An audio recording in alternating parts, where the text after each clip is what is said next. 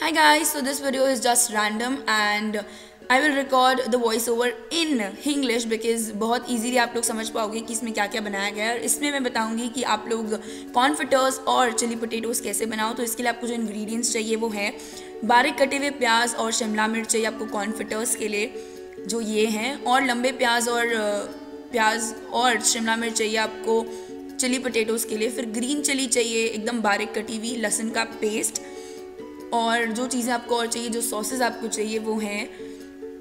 ये पोटेटोज़ हैं जो ऑलरेडी मैरिनेट किए हुए हैं and I tell you how to marinate it आपको चाहिए जो सॉसेज हैं, वो चिली सॉस है। चिंग्स से डार्क सोया सॉस आप किसी भी ब्रांड का यूज़ कर सकते हैं। This is vinegar then this is green chilli sauce फिर आप ले सकते हैं सेजवान सॉस एंड फिर आपको धीरे फ्लेम पे ऑयल को गर्म करना है, ये हैं कॉन्फिटर्स जो ऑलरेडी मैरिनेटेड हैं। और मैरिनेट कैसे करते हैं? आपको कॉन्फिटर्स और पोटैटोज़ को काट कर वॉश करके उसके ऊपर ओके तो मैं आपको बाद में बता दी पहले मैं आप लोग को बता देती हूँ कि ये कैसे करना है। आपको थोड़ा सा ऑयल लेना है और उसमें शिमला मिर्च, लहसुन का पेस्ट प्याज, बारीक कटे हुए प्याज और एकदम धीरे आज पे इन लोग को, इस सबको पकाना है आपको साथ में। इन सबको हिलाते रहें और जो चिली है, जो ग्रीन चिलीज़ आपने काटी है, वो अकॉर्डिंग टू योर टेस्ट आप ऐड कर सकते हैं। और इसको जब तक ये पक रहा है, मैं आप लोग को बता देती हूँ कि आप उसको मैरिनेट कैसे करेंगे। आपको मैरिनेट करना है, अगर वो गीला है तो उस पर कॉर्नफ्लोर और मैदा डाल के मैरिनेट कर कर आपको रखना है। अराउंड वन आवर के लिए रख दो और या फिर आप तो फ्रिज में भी स्टोर कर सकते हो। अब आपने अकॉर्डिंग टू टेस्ट आप नमक डाल लो काली मिर्च डाल लो देन uh, जो भी सॉसेस हैं आपके पास red chilli sauce soya sauce vinegar this is ketchup जो कि है चिली वाला तो आप यूज़ कर सकते हैं ये चिली केचप अगर आप लोग स्पाइसी खाते हैं तो एक्चुअली हमारे घर में सब स्पाइसी खाते हैं तो हमने चिली सॉस ऐड किया है स्पेशली सो नेक्स्ट आप डालेंगे थोड़ी सी शुगर कि वो एकदम मीठा और खट्टा सा taste they. And if you want add it then it's as per your taste then next आप ऐड करेंगे रेड चिली सॉस थोड़ा सा और, क्योंकि थोड़ा सा फ्लेवर और ज़्यादा देने के लिए थोड़ा सा और रेड चिली सॉस ऐड किया है। फिर और फिर आप इसे हिलाते रहे। और जब तक ये पक रहा है, इसको थोड़ी देर पकने दें। फिर थोड़ा सा गैस आप तेज कर दें कि ये जल्दी से पक जाए। फिर आप ऐड करें टमाटो सॉस। नॉर्मल जो केचप होता है वो आप इसमें ऐड कर सकते हैं। फिर आप इसको हिलाएँ और पकाते रहें। और जब तक ये हो रहा है, तब तक आप जो कॉर्न आपने मैरिनेट ऑलरेडी करके रखे हुए हैं, आप उसको फ्राई कर सकते हैं ऑयल में। जब तक ये फ्राई हो रहा है, इसको फ्राई होने दें और उसको हिलाते रहें, जो पेस्ट ऑलरेडी हम साइड में प्रिपेयर कर रहे हैं सो आप उसको हिलाते रहें।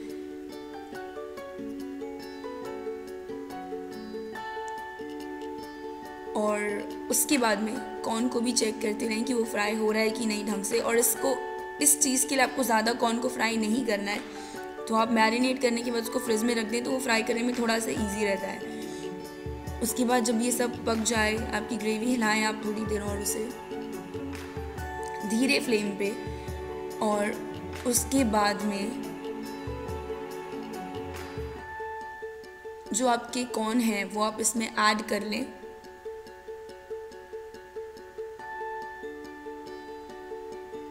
और इतना ही इसको फ्राई करना है इससे ज़्यादा फ्राई नहीं होना चाहिए, वरना ये क्रिस्पीनेस नहीं देगा और इतना होगा तो ये क्रिस्पीनेस देगा। जब आप इसे खाओगे तो आपको पता चलेगा वट इज़ द टेस्ट फिर आपका जब ये हो जाए देन आप इसको हिलाओ मिक्स करो।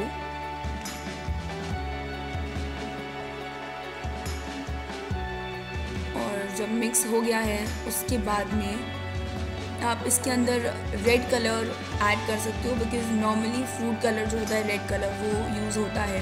तो अगर आपकी इच्छा है तो आप लोग रेड कलर ऐड कर सकते हो और इट्स अप टू यू कि आपको ऐड करना है कि नहीं।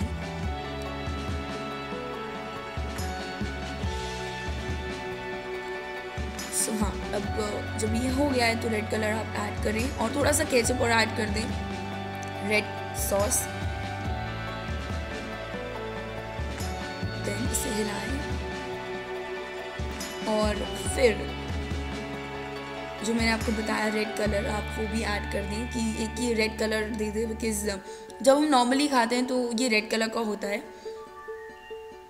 एंड या दिस इज़ प्रिपेयर्ड सो आपने कुछ मिनट के अंदर इसको प्रिपेयर कर लिया एंड फिर जो फाइनल लुक है इसका वो है ये।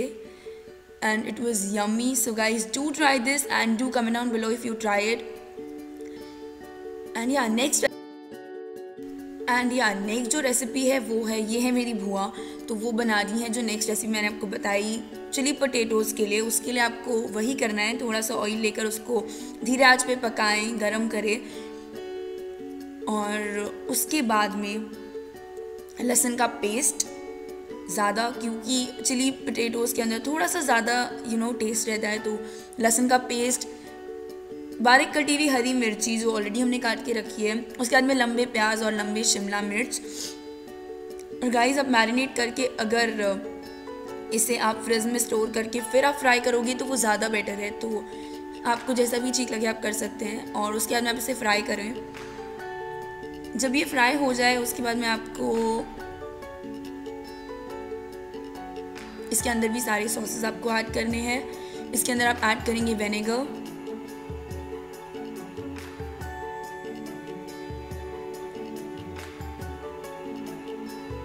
उसके बाद में ऐड किया हमने रेड चिली सॉस। आप अपने टेस्ट के अकॉर्डिंग डाल सकते हो कि आप कितना ज़्यादा स्पाइसी खाना चाहते हो।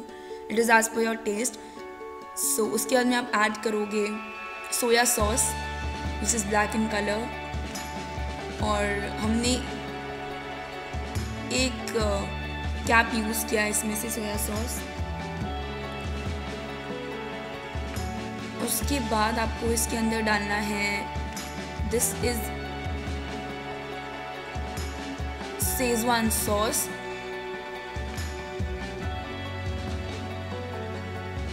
उसके बाद में आप इसको, इसमें आप अपने अकॉर्डिंगली नमक, काली मिर्च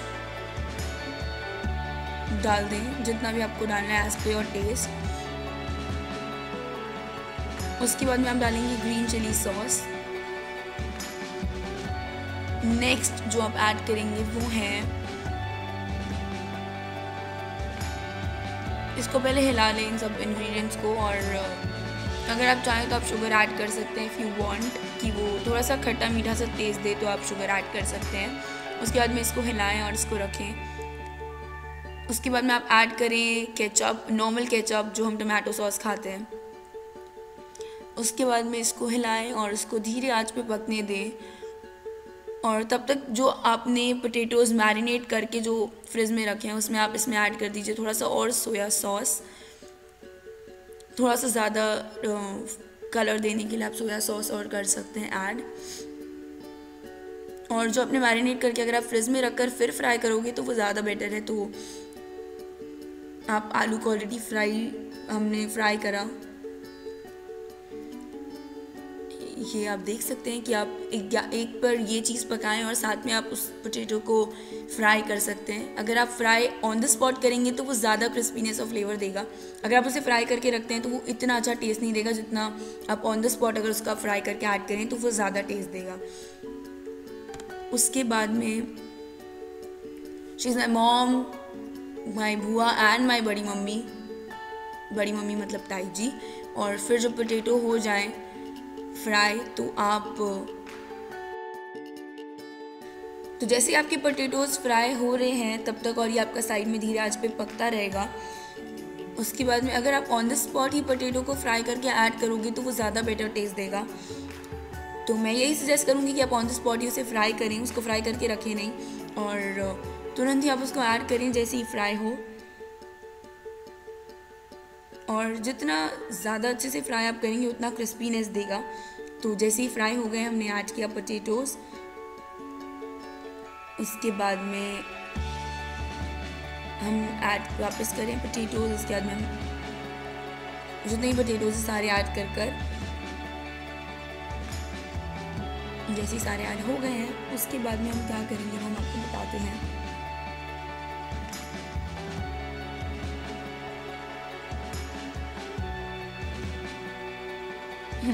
सारे पोटैटोज ऐड होने के बाद आप इसको मिक्स करेंगे।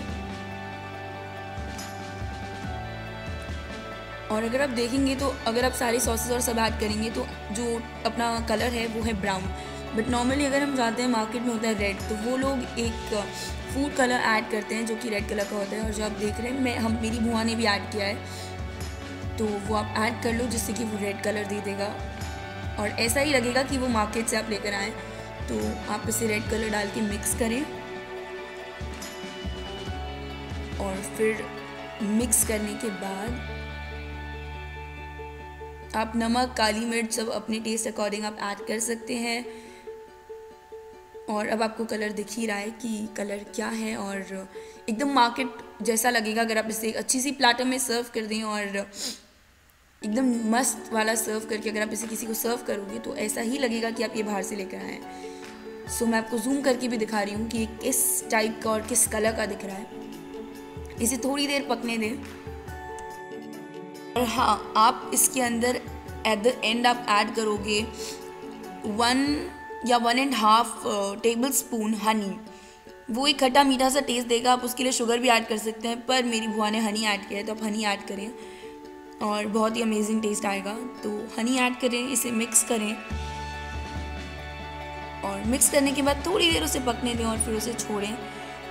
और जैसे ही उसके बाद में काली मिर्ची और नमक डाल दिया थोड़ा सा और ऊपर से। और जो अभी मेरी बुआ ने ऐड किया है, वो है तिल। अगर आपने तिल पापड़ी खाई है तो वो जो तिल होते हैं, वो ऐड कर दें। तो एक अलग फ्लेवर देगा वो भी। तो उसे ऐड करके आप मिक्स करें।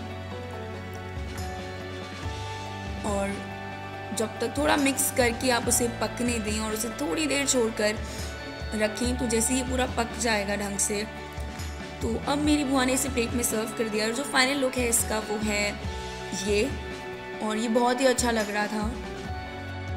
So guys thanks for watching this video stay tune to my channel and yeah don't forget to hit that like and subscribe button और अगर आप इसे ट्राई करें, इस रेसिपी को ट्राई करें तो ज़रूर एक कमेंट जाके कमेंट सेक्शन में लिखिए कि आपको कैसा लगा और ये रेसिपी आपके काम आई कि नहीं। Thank you so much bye take care and I see you soon bye